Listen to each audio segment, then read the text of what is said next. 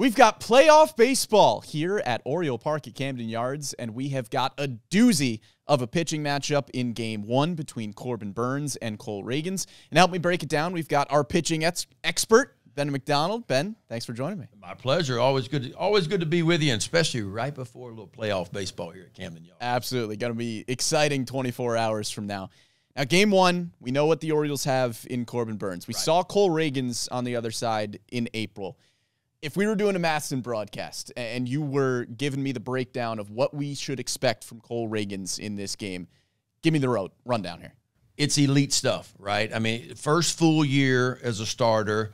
Uh, he's already like 60 something innings more than he's ever pitched in his career, but yet in the month of September, he's been at his best. I mean, the ERA is a shade over one in his four starts, but it's an explosive fastball. From talk about velo standpoint, it's 94 to 98 with a lot of arm side run. So being left handed, He's going to be able to get it up and away to the right handers, up and in to the left handers. It's above spin rate four seamer, so it has a lot of carry through the zone. So there's no two seamers, no sinkers like Eflin. It's all here it is. See if you can hit it. It's got a lot of ride to it. His best pitch is his changeup, and that's what makes him elite. I mean, that changeup is, I think, the best swinging, second best swing and miss pitch in all of baseball.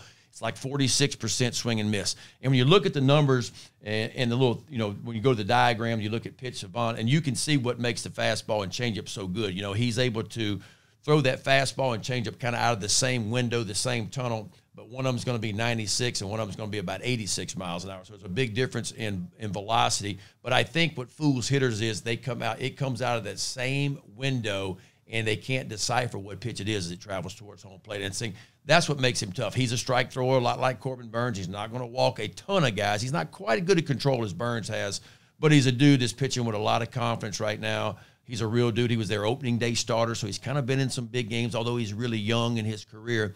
Uh, I think he knows what it's all about. And so he's going to be tough. I mean, he's going to be a tough, tough customer because he's got the slider, the cutter, the curveball to go with it. And I tell you what, you know, you'll see the curveball against the lefties. He'll work the curveball and down on the way to the lefties. But it's just – big time stuff is what it is from a dude that can really really pitch. Yeah, it's a lot of stuff moving away from hitters. Mm-hmm. Typically the four seam and the fastball, as you mentioned, they they normally have a little bit more vertical run. He does not have that. It, they don't drop a ton and they have a ton of horizontal right. movement. So as you mentioned, the four seam to a right-handed hitter is going to go away from that righty. The changeup is as well.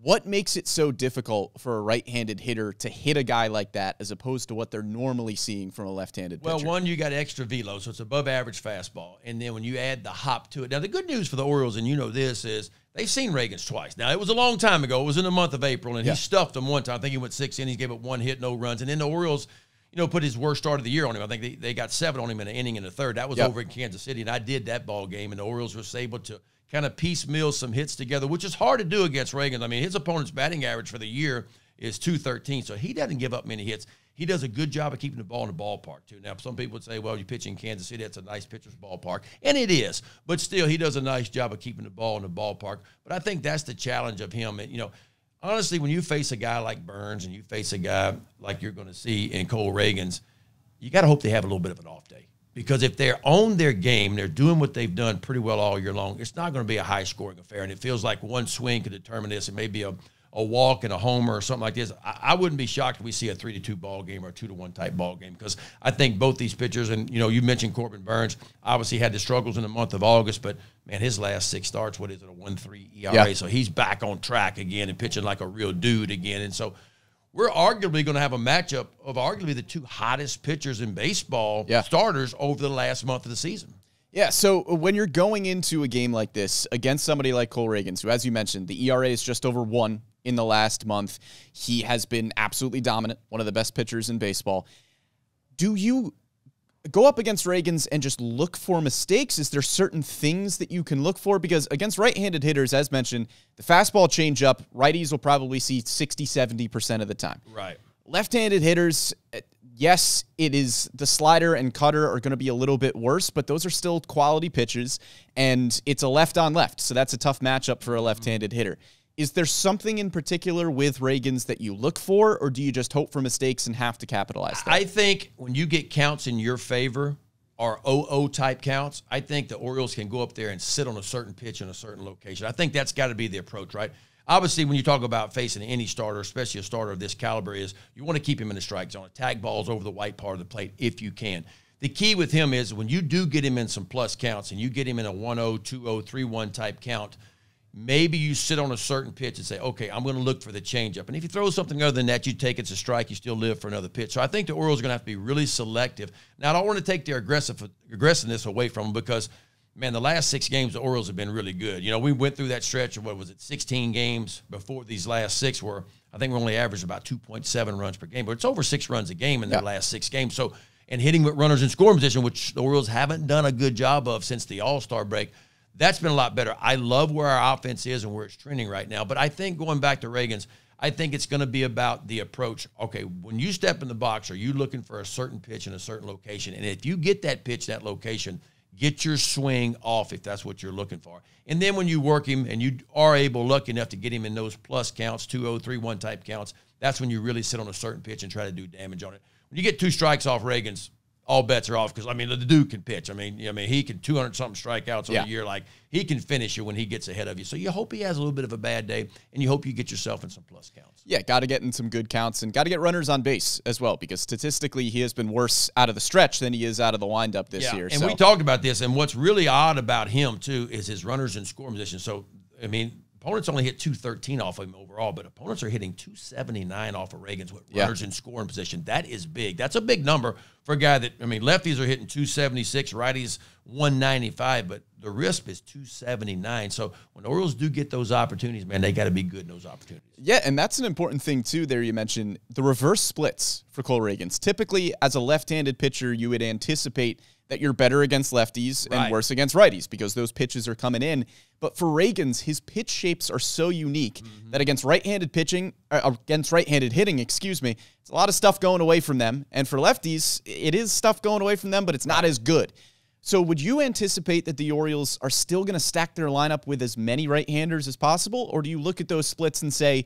Okay, guys like Colton Cowser Cedric Mullins, you might have a chance to do some damage here. Yeah, I mean, when I look at, I mean, you're talking about an 80 point difference between right-handers and left, yeah. and that's not a sample size. That's over the course of 32 starts, right? And so for me, I think there's two things going on. One, when you talk about Mullins and Cowser, you talk about difference makers on both sides of the ball, guys. And we know here at Camden Yards, you got to have somebody in left field, especially in playoff type games, that can cover a lot of ground out there. That's Colton Cowser. Defensive run saves are off the chart. So for me, tomorrow, when I look at the outfield configuration, I think it's going to be Cowser in left, Mullins in center, Santander in his usual spot out in right field. Just because I, I look at these numbers and I see that what lefties are hitting, I think Cowser has to be in the game for that and for his defense. And I think Mullins has arguably been the best hitter the Orioles had since the All Star break. Yeah. I think he's got to be in there too. And so I think that's what you're going to see from the outfield. And now I don't know what they're going to do at the DH spot.